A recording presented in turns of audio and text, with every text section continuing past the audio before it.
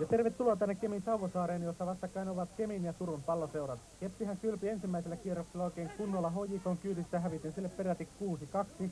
Ja TPS puolestaan pelasi kotonaan tasan Ropsin kanssa 0-0. TPS aloitti tämän ottelun voimakkaalla painostuksella.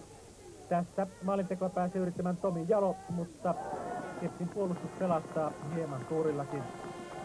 Myös Kemi sai vähitellen juonesta kiinni ja mukana juonimassa tilanteita on kukapas muu kuin Juhani Hiski Himanka.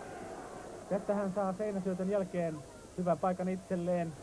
Pääsee keskittämään, antaa namusyötön Mark Fattingille. Fatting etsii vielä Risto Kovaneemea sieltä kärjestä, mutta TPSn puolustus purkaa tuon tilanteen. Sitten pallo Ilkka Siitosella, hän avaa pitkällä. Pallon saa Karlo Kankkunen. Keskittää Eckerman ja Fatting taistelevat pallosta ja Eckerman hoitaa tilanteen ja toteaa siinä turkulaiselle, että rauhoitetaanpas peliä hieman.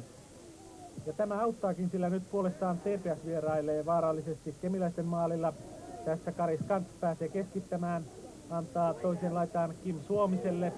Suominen tykittää heti ilmasta ja aivan hiuksen hienosti ohi. Ja toiselle jaksolle mentiin numeroissa 0-0.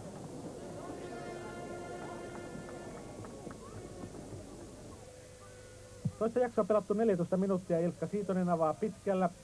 Pallosta taistellaan siellä keskialueella. Sitten Mark Fatting antaa Jukka-Pekka Poutiaiselle tänne laitaan. Poutiainen huijaa siinä Karis Kantsia. Antaa hienon läpisyötön Juhani Hiski Himangalle. Himanka keskittää ja paikalle tulee Risto Rilli Kovaniemi, joka tekee kemiläisyleisön riemuksi kemiläisille 1-0 johdon.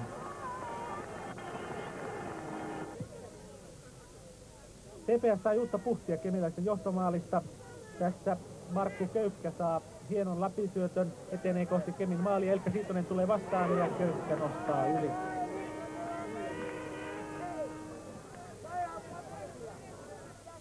Mutta myöskään Kepsi ei vetänyt kuorensa, vaikka johtaakin ottelua. Tässä jälleen Hiski Himanka pahanteossa etenee siellä oikeassa laidassa.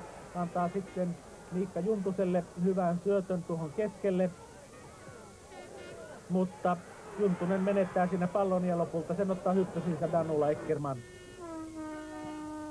Sitten peliaika jäljellä enää yksi minuuttia. Kemiläisillä kulma. Eckerman ottaa pallon avaa pitkällä.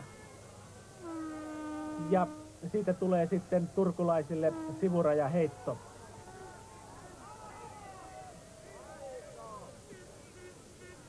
Heiton jälkitilanteesta pallon saa itselleen Marko Köykkä.